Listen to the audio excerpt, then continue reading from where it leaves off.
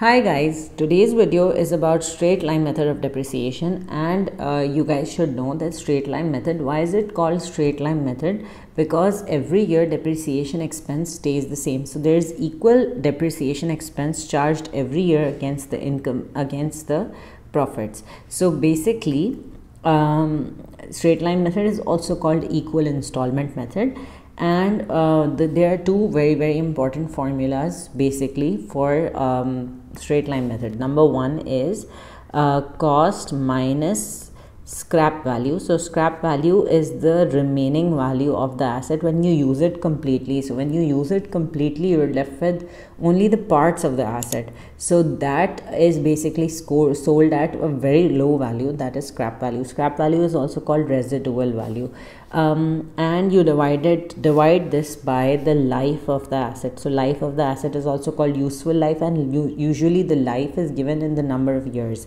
So that is one uh, one very important formula. The other one is that you do uh, cost multiplied by percentage so whatever percentage is given in the question, you directly multiply cost with the percentage. So here in this uh, case one, they're saying a business purchased a motor vehicle for 160,000 which had a scrap value of 10,000 and a life of 5 years.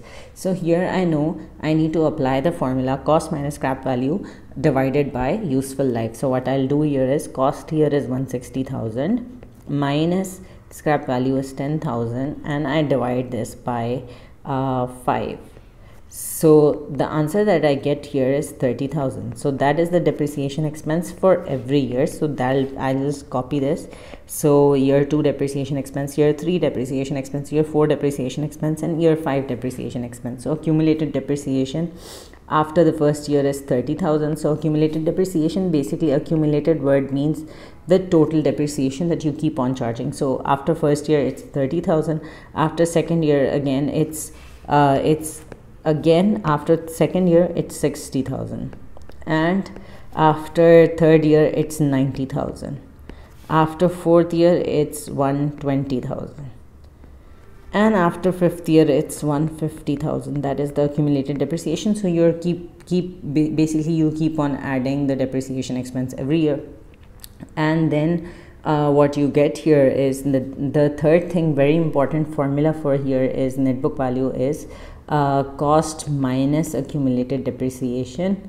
Uh, this is a super important formula for CIE cost minus accumulated depreciation. So cost in this case was 160,000 accumulated depreciation was 30,000 so you're left with uh, 130,000 after first year. Net book value after first year is 130,000 net book value after second year is 160,000 minus 60,000 you're left with 100,000 um, net book value after third year is 160,000 minus 90,000 gives you 70,000 net book value after fourth year is basically 160,000 minus 120,000 that is uh, 40,000 and net book value after fifth year is 10,000 so 160,000 minus 1 uh, minus, uh, minus 150,000 gives you 10,000 that is for case 1 okay so we'll do another case uh, for depreciation. That will be uh, when you have to multiply the cost by the percentage. So in this case, you have been given cost of fixtures and fittings that is 45,000 and then the business provides depreciation by the straight line method so 15% on cost.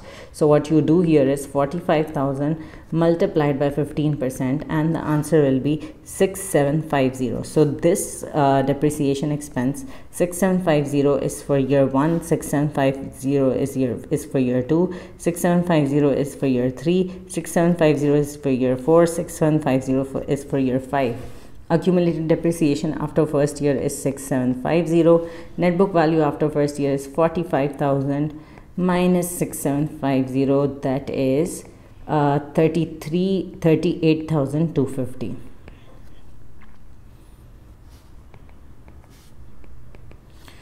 okay uh, accumulated depreciation after second year will be 13500 accumulated depreciation after third third year will be uh, 13500 plus 6750 that is uh, 20250 and accumulated depreciation after fourth year will be 27000 accumulated depreciation after fifth year will be 33750 so net book value after year 2 will be 31500 so what you'll do is basically you are subtracting uh, subtracting 13500 from 45000 um, accumulate uh, uh, net book value after third year will be 24750 net book value after fourth year will be 18000 net book value after fifth year will be 11250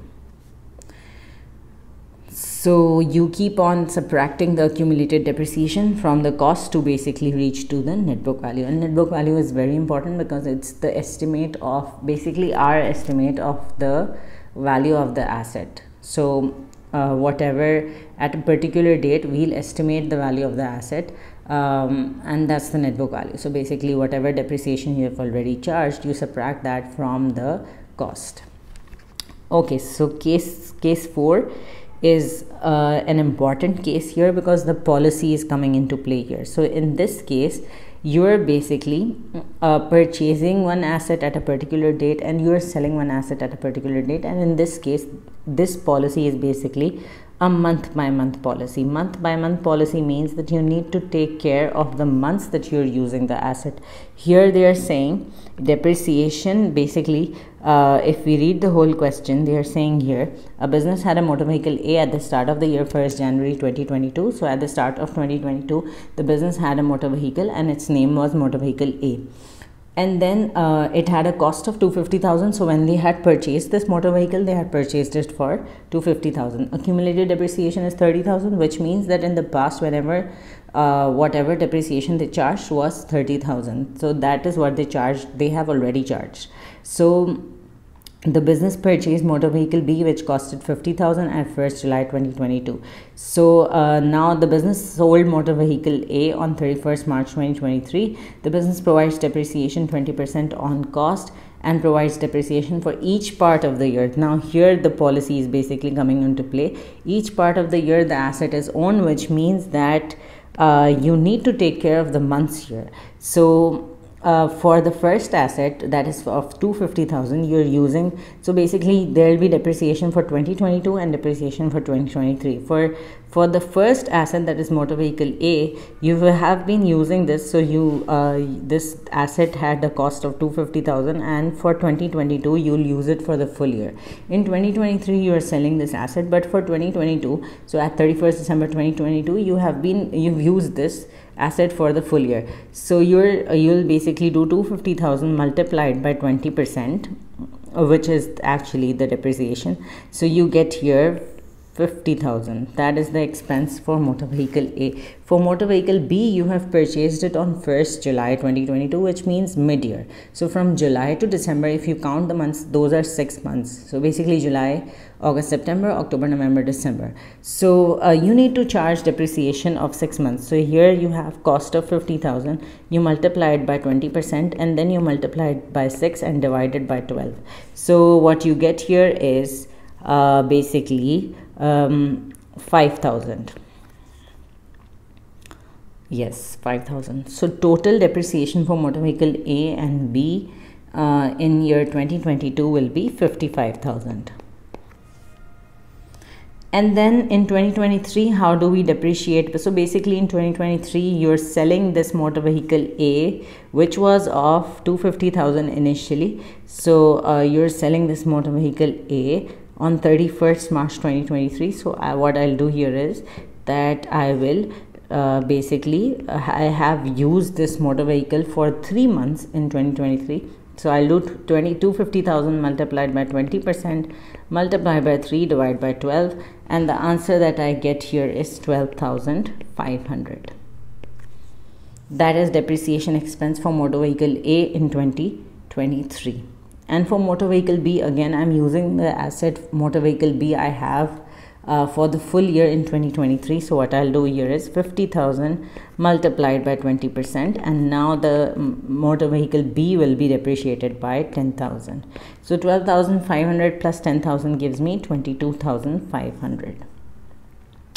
that is for uh, 2023 now the policy is changed. There the, case is the same. So you already had a, a had a motor vehicle which had a cost of 250000 and the depreciation that you had already charged was 30000 now what they are saying here is that uh, a business purchased motor vehicle B which had co- which costed 250,000 at 1st July 2022 again the same case but now the policy has changed. The policy here is um, full year's depreciation in the year of purchase none in the year of disposal.